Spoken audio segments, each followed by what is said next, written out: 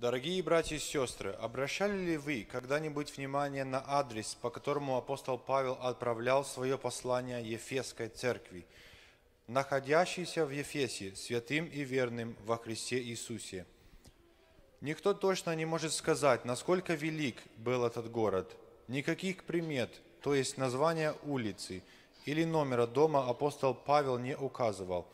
Только по двум качествам тех людей, которые должны были выделяться – во всем городе, и которых должны были знать все живущие в городе, чтобы можно было их найти, а именно святые и верные во Христе Иисусе.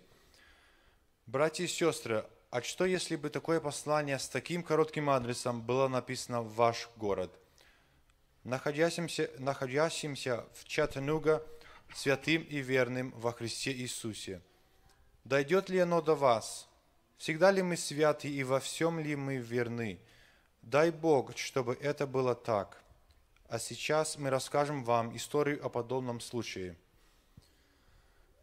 В одном селе однажды произошел такой случай. На почту пришло письмо, на конверте которого стояло «Село Березовка, святым и верным во Христе Иисусе».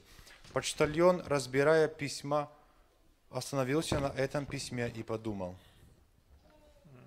Кому же это письмо? Не решив сам, он обратился к начальнику почты и спросил. Кому же это письмо? Кто у нас в селе святые и верные? Почтальон отправил его в церковь, к отцу Сергею. Церковь была недалеко от почты. Почтальон направился к ней и спросил сторожа. А где отец Сергей? Сторож указал на закус... закусочную – и почтальон побежал туда. Тут он увидел батюшку и закричал. «Отец Сергей, вам письмо, вот, пожалуйста». Тот взял, прочел на конверте надпись «Святым и верным» и возвратил почтальону. «Нет, нет, это не мне. Видишь, тут написано «святым и верным», а я, видишь, вот...» И он указал на стол, на котором стояла закуска и водка, который отец Сергей пил. Так кому же тогда это письмо? А, неси Андрею Самсоновичу. Он у православных самый первый проповедник считается. Ему оно, видать, и написано. А этот Андрей Самсонович имел склад пиломатериалов, который продавал частным порядком. Почтальон направился к нему и, увидев его, еще издали закричал. Андрей Самсонович, вам письмо. Премного благодарен. Давайте, пожалуйста. Взяв письмо в руки и посмотрев на адрес, он заморгал глазами и полез за кар... в карман за очками. Потом сквозь очки еще несколько раз прочитал, бурча себе под нос. Святым и верным во Христе Иисусе, святым и верным. Нет, нет, это не мне. Нет, нет. Как же не вам? Ведь отец Сергей сказал, что вам. Почему же вы не можете принять это письмо?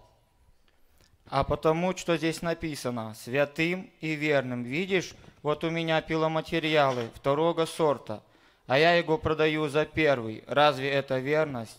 Нет. Тогда же кому же я дам это письмо? Неси Михаилу Романовичу, он у нас общиной руководит, наставник наш, ему и отдай. Михаил Романович жил на другом конце села. Куда-то этим письмом и отправился почтальон. На стук вышел хозяин и увидел почтальоном и вежливо поздоровался. Поблагодарив, он взял протянутое ему письмо. Как будто что-то предчувствие, почтальон не стал уходить.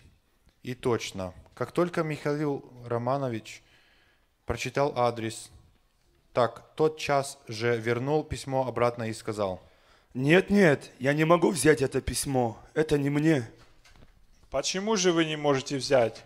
Куда же я теперь дену это письмо? Да не могу я взять это письмо. И вот почему. Я ведь кожевник, и выделывая кожи, и вот недавно я взял у одного мужика большую бычью кожу – которую после выделки позавидовал, оставил себе, а вместо нее отдал две маленькие, сказав, что испортил кожу. А ведь здесь на конверте написано «верным». Где же она верность-то? Нет, нет, я не могу взять на себя еще и этот грех. Отнеси это письмо а, Марии Ивановне. Они по вероучению отвергают крещение, но зато признают духовное рождение свыше и следят за чистотой жизни людей. Ей это как раз это подойдет, так как она всегда делает добрые дела. И пошел почтальон дальше искать святых и верных. Придя к Марии Ивановной, он протянул ей письмо с адресом. Та сначала с радостью взяла письмо, но, прочитав адрес святым и верным, немедленно возвратила его почтальону, невнятно оправдывать. Да, видишь ли, да нет, это, это не мне. Как же не вам? Ведь вы всегда добры к окружающим. Нет, нет, я вам скажу по секрету. У меня на днях были сестры, а я их не угостила. Сказала, простите, сестры, но у меня ничего нет, а у самой вон две меры пшена под лавкой лежит. Так кому же мне это письмо теперь нести? Отнеси это письмо Татьяне Игорев... Игоревной.